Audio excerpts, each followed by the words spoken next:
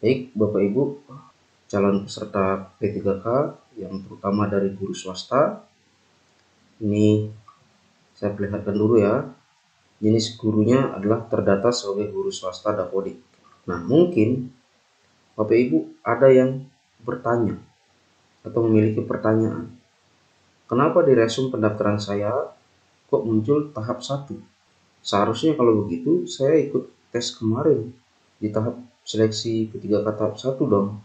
Berarti saya dirugikan dong karena kemarin saya tidak ikut tes karena informasi yang beredar guru swasta itu tidak boleh ikut tes di tahap satu.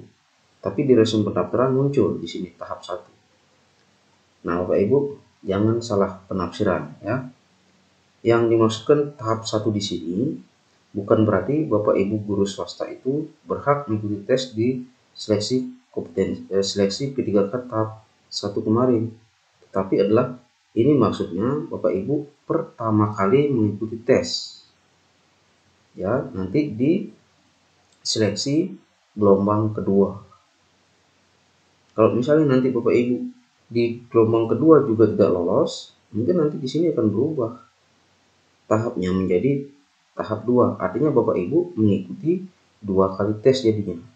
Demikian Bapak Ibu ya, biar tidak ada lagi pertanyaan-pertanyaan atau mungkin perdebatan-perdebatan di luar. Kenapa saya e, diinformasikan baru sekarang bahwa e, di resume pendaftar saya muncul tahap satu.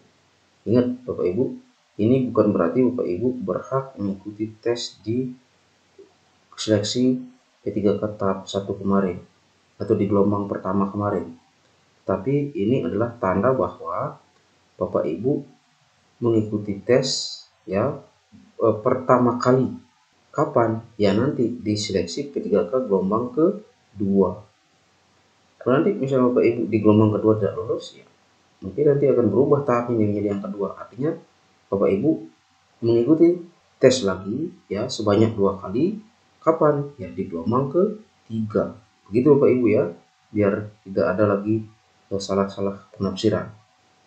Baik, eh, semoga penjelasan singkat ini bisa mengobati pertanyaan-pertanyaan yang ada di benak Bapak Ibu dan bagi Bapak Ibu yang baru bergabung dengan channel saya di sini, jangan lupa untuk melakukan subscribe dan mengaktifkan tombol lonceng karena nanti ketika saya upload video berikutnya, Bapak Ibu biar mendapatkan notifikasi pemberitahuan.